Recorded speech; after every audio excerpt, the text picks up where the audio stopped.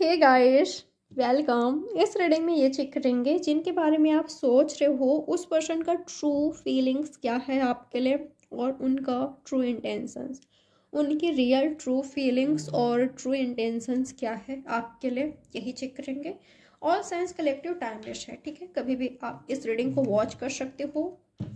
तो चलिए बिना देरी के रीडिंग स्टार्ट करते हैं। आप सोचिए उनके बारे में यूनिवर्स से प्रे करें कि वो आपको इस रीडिंग के थ्रू सही गाइडेंस दें। जिनके बारे में आप सोच रहे हो, उनका ट्रू इंटेंशंस क्या है आपके लिए? क्या है उनका ट्रू इंटेंशंस आपके लिए? Three of cups Cancer Scorpio Pisces friendship definitely celebration आपका फ्रेंड बनना चाहते हैं यू ऑलरेडी फ्रेंडशिप में हो तो ये पर्सन रोमांटिक रिलेशनशिप चाहते हैं, ठीक है? लाइफ के हर मोमेंट को आपके साथ एंजॉय करना चाहते हैं, आपके साथ जीना चाहते हैं, ये पर्सन आपके साथ फ्रेंडशिप चाहते हैं। ओके? ये पर्सन आपके साथ फ्रेंडशिप चाहते हैं पार्टनरशिप चाहते हैं। ये पर्सन आपके साथ जीना चाहते हैं, खुश होना चाहते हैं, ठीक है? क्योंकि इस पर्सन ने आप में एक ट्रू फ्रेंड देखा है, ठीक है? इनको ऐसा लगता है कि आप इस पर्सन की सुनी दुनिया को खुशियों से भर सकते हो, ठीक है? ये पर्सन काफ़ी सैड है, ऐसा हो सकता है, या इस पर्सन ने आपको पहले रिजेक्ट किया आपके ऑफ़र को ठुकराया, आपको रिजेक्ट किया, आपको इग्नोर किया, ऐसा हो सकता है, ठीक है? या आपने ऑलरेडी इस पर्सन के ऑफ़र को ठुकराया है, इस पर्सन को इग्नोर किया रिजेक्ट किया, ये वो हो सकते हैं, ठीक है? थीके? जिस पर्सन ने आपको रिजेक्ट किया, आपको इग्नोर किया, वो हो सकते हैं, या तो इन्होंने आपको रिजेक्ट किया है, आपको इग्नोर किया है, ठीक है? ये पर्सन आज आपके साथ फ्रेंडशिप करना चाहते हैं।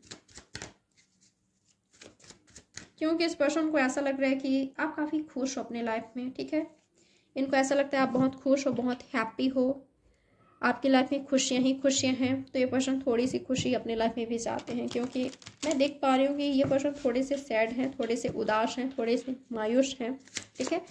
तो यस ये पर्सन आपके साथ फ्रेंडशिप करना चाहते हैं, जो भी हो बट ये पर्सन आपके साथ फ्रेंडशिप करना चाहते हैं।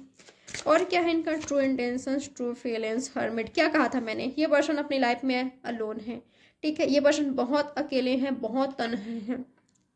ठीक है? तो ये पर्सन आपको अपने लाइफ के लाइट के रूप में देख रहे हैं, ठीक है? हैप्पीनेस के रूप में देख रहे हैं। बिल्कुल, आप इस पर्सन के लाइफ में खुशियाँ ला सकते हो लाइट ला सकते हो, क्योंकि इस पर्सन को अपनी लाइफ काफ़ी डार्कनेस लग रही है, ठीक है? इनको ऐसा लग रहा है कि बस गुजर रही है इनकी ज़िंदगी। तो इनकी सुनी दुनिया में खुशियाँ ला सकते हो हैप्पीनेस लाइट ला सकते हो, ठीक है? ये पर्सन आपके साथ फ्रेंडशिप करना चाहते हैं, बात करना चाहते हैं। आप दोनों लॉन्ग डिस्टेंस रिलेशनशिप में हो, ऐसा हो सकता है। ये पर्सन आपसे काफ़ी दूर हैं, कोई और सिटी के हैं कंट्री के हैं, कोई और प्लेस में हैं, ठीक है? तो ये पर्सन आपसे बातचीत करना चाहते हैं, आपसे मिलना चाहते हैं। और क्या है इनके ट्रू फीलिंग्स ये पर्सन आपके साथ ट्रैवल भी करना चाहते हैं ओके आपके साथ टाइम स्पेंड करना चाहते हैं। और क्या है इस पर्सन की फीलिंग्स इनकी real true feelings two of pentacles इसको क्लैरिफाई करना चाहूँगी मैं। इस पर्सन की रियल ट्रू फीलिंग्स क्या है आपके लिए क्या है इनकी real true feelings queen of pentacles ये पर्सन आपको चूज़ करना चाहते हैं ओके okay?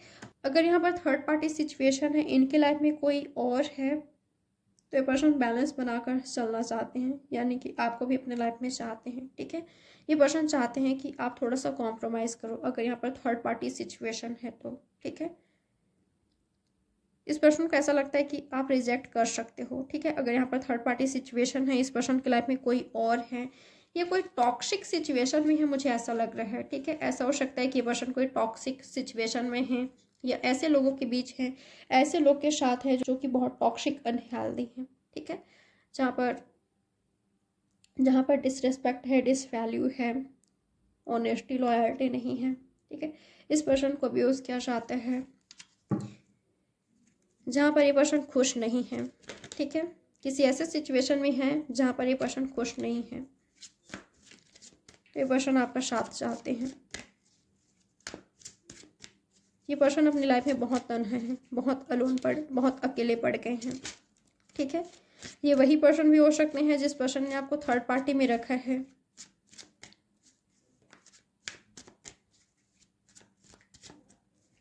तो अब ये पर्सन आपका साथ साथ है फ्रेंडशिप मुझे यही दिखाई दे रहा है। कुछ लोग लिए मैं ऐसा फील कर पा रही हूँ। ये आपके क्लोज आना चाहते हैं, या आपके करीब आना चाहते हैं अट्रैक्शन काफ़ी ज़्यादा है। ठीक है?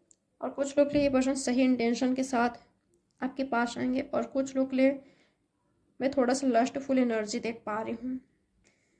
अगर यहाँ पर थर्ड पार्टी सिचुएशन है, इस पर्सन की लाइफ में कोई और है, आपका कुछ बड़ा एक्सपेक्टेशन है मैरिज ऐसा कुछ तो आई थिंक ये पर्सन वो आपको ना दे पाए, ठीक है? क्योंकि इस पर्सन की लाइफ में ऑलरेडी कोई और है, किसी और के साथ मैरिड हैं तो आपका साथ चाहते हैं रोमांटिक रिलेशनशिप में ज़रूर आ जाएँगे या फिज़िकली आपके साथ इन्वॉल्व हो जाएँगे।